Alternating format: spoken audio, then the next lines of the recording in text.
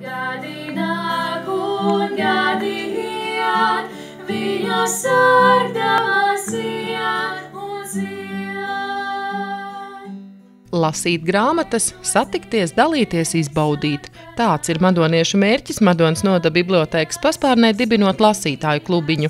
Pirmā tikšanās reize izritējusi sarunā par sievieti grāmatas lapusēs, turpmāk iecerētas dažādas tēmas, kuru izvēle tiks balstīta lasītāju interesēs.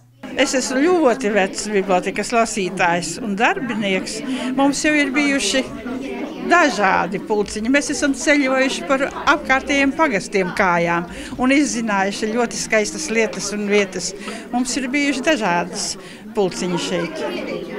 Tas nozīmē, ka šis varētu būt tāds savu veidu turpinājums. Protams, protams, viss taču nāk par labu, kas ir priekš cilvēka. Nu, es gribētu redzēt, varbūt arī vairāk nākamreiz jaunākus cilvēkus, bet uh, ir forši, ka tā iecerē ir tāda um, radusies. Ļoti svarīgi, ka cilvēks lasa grāmatu, kad rodas arī kāds secinājums vai atziņa. Tas man liekas, šeit būtu tas uh, galvenais. Ka, uh, Cilvēki var apmainīties tam atziņām, kas viņiem radušies.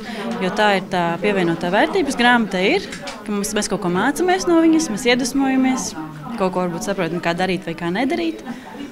Un, man liekas, tas arī ir tā pieredzes apmaiņa, kas ir svarīga. Grāmata jau ir arī dvēselītei liels prieks. Kad var kaut ko skaisti izlasīt. Pie tam es domāju, izdevniecības patreiz ir tik bagātas ar izdevumiem, ka viens lasītājs jau vairs to nevar aptvert. Un varbūt sanākot pulciņā, mēs varam pārunāt un paciemoties otrā, otrā skatījumā par grāmatu. Protams, mums bibliotekā ir daudz citu pievienoto vērtību, kas ir labas, bet grāmata tomēr ir pamatu pamats. Un kas būtu grāmata bez lasītāja, un kas būtu biblioteka bez lasītājiem?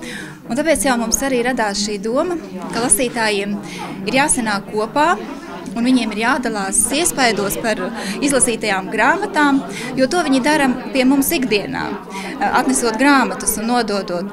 Bet šādās tikšanās reizēs viņiem šī doma apmaiņa varētu būt ne tikai kā tad bibliotekā, bibliotekārs lasītājs, bet šeit būtu tā doma apmaiņa starp lasītājiem. Kā stāsta Dacīta Tomiņa, lasītāju klubiņš turpmāk tiksies reizi mēnesī, iecerot gan tikšanās ar grāmatu autoriem un interesantām personībām, gan dodoties izbraukumos un plānojot dažādas cita veida aktivitātes.